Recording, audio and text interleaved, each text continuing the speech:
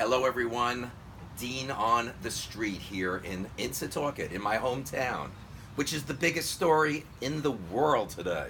Okay, my featured guest, as I told you earlier, one of the most famous people in the world today is this beautiful, beautiful animal by the name of Storm. Storm is on in every news, radio, TV, the internet. Over 2 million views on the internet. Storm is known all over the world.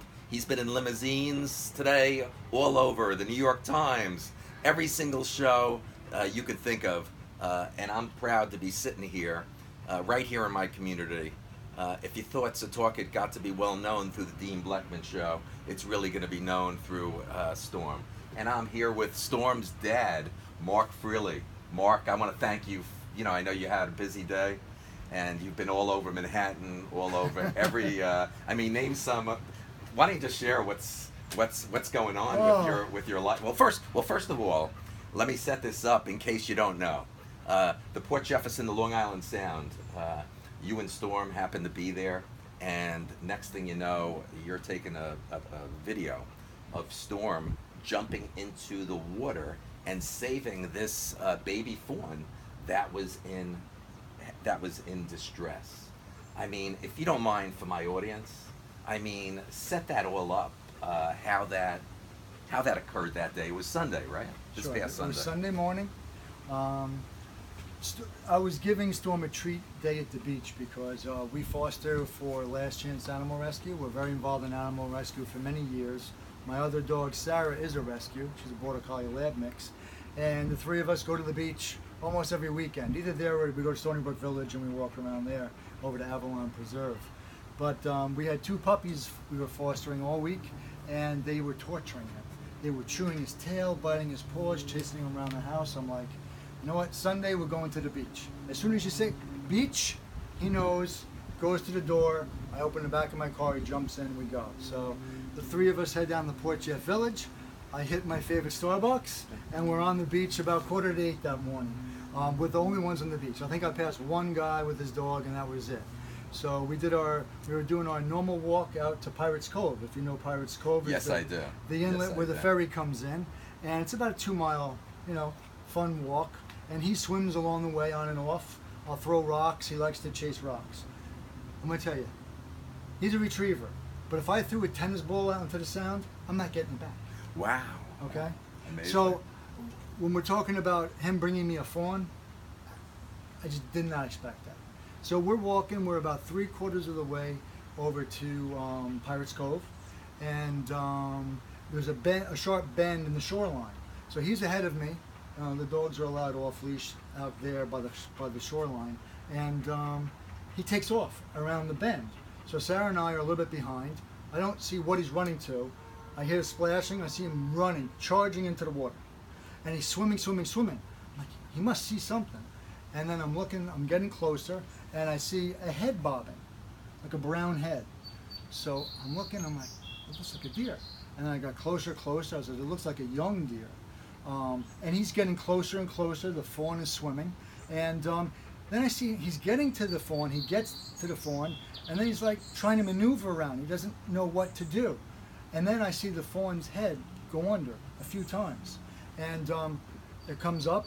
I see him stretch his neck, open his mouth, and he grabs the fawn by the neck. Just like a lifeguard would do this to bring someone into shore. Amazing. That's what he does. Amazing. And he's facing sideways. Then he turns his body around, faces me, starts heading to shore with the fawn in his mouth. Wow. And um, I'm like, so then you hear me on the video saying, "Good boy, Storm. Good boy, Storm," because I was encouraging him. Over 2 million views on this video on the internet. Amazing. I'm beyond shocked. I, I mean, if you had told me that, I, I share photos and videos of my dogs with uh, my other fam, um, animal rescuers Yes. all the time. So it's not unusual for me to be taking photos of the dogs on the beach. And that's why I had the, the camera out. Okay. I got to ask you this question, Mark. As Storm's father, as as Storm as Storm's dad, Yeah. come on, tell my tell tell my audience how proud are how proud are you of of Storm? Listen, this is a dog that's never given me a day of grief. I've never had to raise my voice. He was trained with positive reinforcement. He only knows love and caring and attention. And I swear that's part of his personality. And uh, to see him act like that, and more importantly, when he brought the fawn back to shore and it laid down, he stayed with the fawn. And then when it got up and tried to run and then collapsed again, he follows it and he lays down right next to the fawn. And he starts going like this, mouthing the ear to try to get it to do something. And then when it's not responsive, he takes his nose and starts nuzzling in to the belly of the fawn. And I'm like, I can't believe I have this on tape. Wow. And then after that, it's still not responsive. He takes his paw and he starts pulling the leg of the fawn. Amazing, Mark. Amazing. I mean- amazing. And, and, and I was getting grief on social media from a select few saying, oh, you know, Dor, uh, Storm was being aggressive and he really wanted to hurt the fawn. And I'm like, you either don't know dogs or you're misreading that video because nothing in that video or that moment was about him doing harm to the deer. Wow. Well, listen, it's a great, it's, it's, it's a very inspirational, exciting story. And listen, when, when, uh, listen, you, Storm's now six years old, okay? You've raised him, Yeah. okay? So a lot of credit has to go to you. You've raised him. So uh, it's really remarkable. Okay. What advice? What advice do you have for this experience? Do you have any advice for dog owners out there? Uh, advice that I can give is when you're training your dog from the start, okay, it's all about positive reinforcement, loving the dog, and not raising your voice, never taking a hand to the dog, and letting that dog be raised in a safe, loving, secure environment. And this is the type of dog that that, that will you'll be blessed with. We raised him um, to be gentle. We brought him for three months of training at assisted living facilities, where he would train among the residents in a group with other dogs, and he learned to be fine with all different types of people and situations. We socialize him with other dogs, and we foster dogs. He gets socialized by them. I've never seen him do anything the least bit aggressive. And in fact, when he smiles sometimes, he'll smile and he'll raise his mouth like this to show his teeth. Do people get scared? It's a smile. Well, well, you want to know something? I've had my show now for a year, the Dean Blechman Show and Dean on the Street. So far, Storm is my uh, easiest guest so far. Okay, on the show. Yeah. Listen, if you could just real quickly, the last 24, 48 hours. Why don't you just share with everybody what the last 24, 48 hours, what you and Storm have been doing, going into the city, people coming here, all It- over what's going on. It's been a little bit crazy. Uh, I think our first guest was Channel 2 News. They came here, did a uh, on the couch interview with Storm, and uh, the next morning it was News 12 right down in Harborfront Park in Port Jeff for a long time. As soon as they finished, it was Jody from Fox 5 News. As soon as Jody finished, it was Inside Edition down there. Then they followed me back to the house for interview with Storm on the couch. Then Eyewitness News came later that evening. Then we got a call from Fox and Friends. They wanted him there tomorrow morning. They were sending a limo. And we hopped in the limo this morning down to the city. We came back. On the way back, on the way in, I gave an interview to WBLI Radio. On the way back, I gave an interview to the New York Times. And then they had me meet a reporter down in Port Jefferson Village. Um, and then um, this great video, this great interview. And uh, tomorrow, uh, Pix 11, they're sending a limo. Wow. And he's going down to the city again. Awesome. And uh, there's a couple other, you know, interviews to do. Um, but um, I just want to tell people that there's also a Facebook page that we created. Um, it's called uh, Good Boy Storm. And the reason we created it is to raise awareness about animal rescue Mm. and animal welfare. And there's going to be links there that you can make donations to. Uh, I'm with Last Chance Animal Rescue, but there's two other really important rescues that were involved. It's the wildlife rescue. After we left the fawn and it looked okay, we headed back into port. I sent the video to two welfare organizations for wildlife and just to see if they thought it needed to be seen. They did, and Frankie from Strong Island Animal Rescue League. Met me in port. Me, Storm, Frankie, and Sarah hiked back out to where this happened. The fawn was still laying by the water, and Frankie tried to approach it. It got up and jumped back in the water.